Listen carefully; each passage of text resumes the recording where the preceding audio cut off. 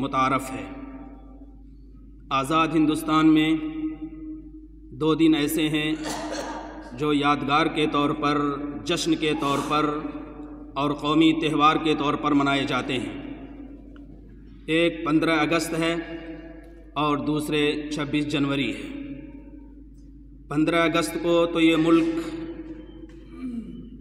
गैर मुल्की इस्तिबदाद से आज़ाद हुआ।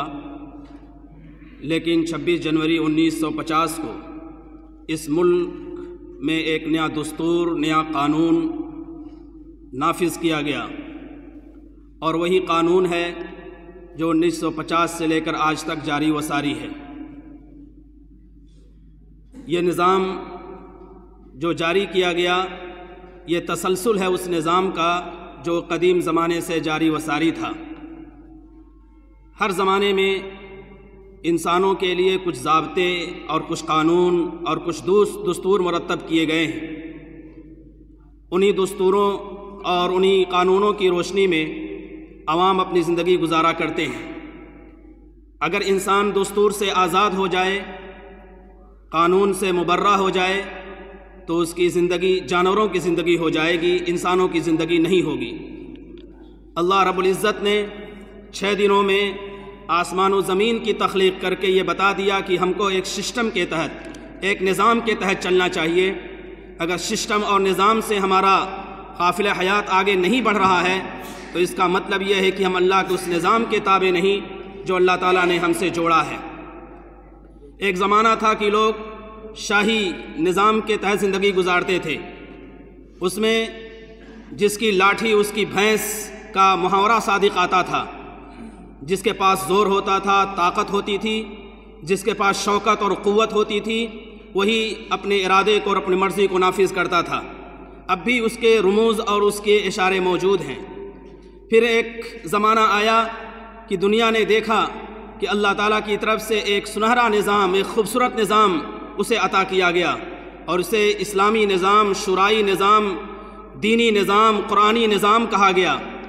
उसमें होता यह है कि चंद अहल तकवा व अहल सलाह मंतखब होते हैं, फिर वो किसी एक को अमीर मंतखब करते हैं और इस तरह से पूरा निज़ाम चलाया जाता है। लेकिन दुनिया ने एक दूसरा निज़ाम, बल्कि एक तीसरा निज़ाम लोगों के सामने पेश किया और उसका तजर्बा किया, जिसको हम जमहूरीत के नाम से जानते हैं। जमहूरीत का मतलब डेमोक्रेसी, और डेमोक्रेसी की जो तारीफ़ सबक अमरीकी सदर अब्राहम लंकन ने की थी, वो ये थी कि government of people by people for people कि आवाम की हुकूमत आवाम के ज़रिए और आवाम के लिए। ये वो चीज़ है जिसके ज़रिए से जमहूरीत का ताना बाना खड़ा होता है। जमहूरीत की बुनियादें उस पर कायम होती हैं।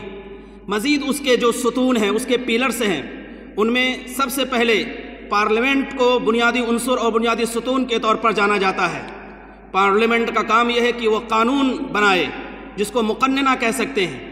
और उस कानून को नाफिज करने के लिए अदलिया का सहारा लिया जाता है, जिसको हम जुडिशरी कह सकते हैं या अदालत कह सकते हैं।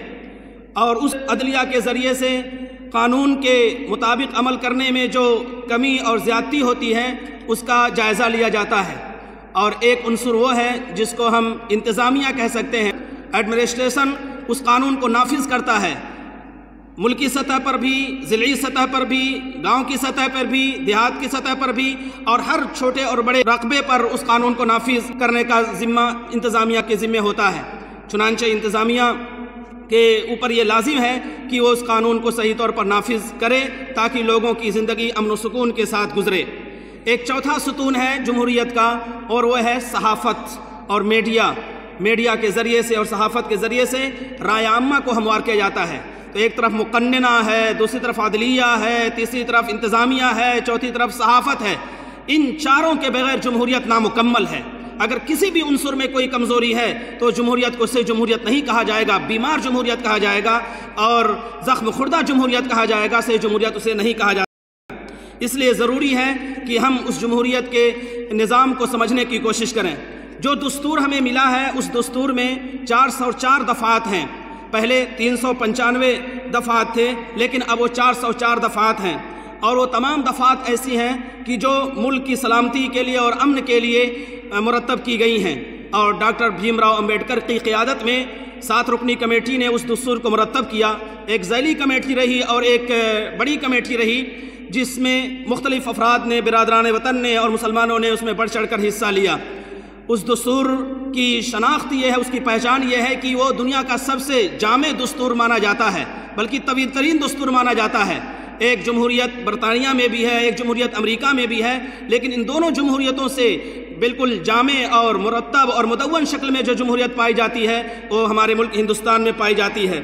इस लिहाज से इस जमहूरियत की जो पहचान है वह यह है कि इसमें इंसाफ होना चाहिए।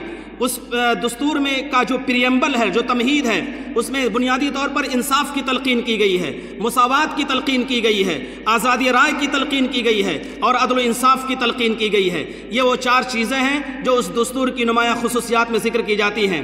हम और दस्तूर, यानी मुसलमान और दस्तूर, इस उनवान से अगर दस्तूर का मुताला किया जाए तो पता चलेगा कि दस्तूर नंबर 25 से लेकर दस्तूर नंबर 29 तक जो दफ़ात हैं, वो मुसलमान अकलीतों से मुतल है ख़ास तौर पर। उसमें मज़हब की आज़ादी भी है, इदारा कायम करने की भी आज़ादी भी है, और तमाम मजहबी और दीनी तकरीबा के मुनद करने की आज़ादी मौजूद है। ये हिंदुस्तान एक कसर लसानी, कसर तहजीबी और कसर कौमी मुल्क है। इसकी रंगारंगी ही इसका हसन है, और इसके अख्तिलाफ़ी में इसका हुस्न और उसका जमाल पोशीदा है। इसलिए ज़रूरत है कि हम उसके हुस्न को बाकी रखने की कोशिश करें और इस निज़ाम को आगे बढ़ाने में हर मुमकिन ताउन करें। और अल्हम्दुलिल्लाह, ये जो जश्न मनाया जाता है यम जमहूरिया के नाम से, वो योम तजदीद अहद है। ये योम तजदीद अहद हर साल यह अहद किया जाता है कि हम दस्तूर की पासदारी करेंगे। लाल किला से भी यही ऐलान किया जाता है। सदर का जब खिताब होता है तो भी इसमें भी ऐलान किया जाता है और जो रियासती सर पर खिताबात होते हैं सी एम के, उनके उनके ज़रिए भी ऐलान किया जाता है और स्कूलों में, कॉलेजों में, मकतबों में, मदरसों में जो ऐलान होता है वो भी इसी का ऐलान किया जाता है कि योम तजदीद अहद, कि दस्तूर के तमाम दफात जो 404 हैं, उनकी हमें पाबंदी करनी है हर सतह पर और उसमें कोई कमी नहीं करनी है। अल्लाह ताला हमें तोफ़ीक़ात से नवाजें और सही तौर पर दस्तूर की अहमियत को समझने की तोफ़ी अता फ़रमाएँ।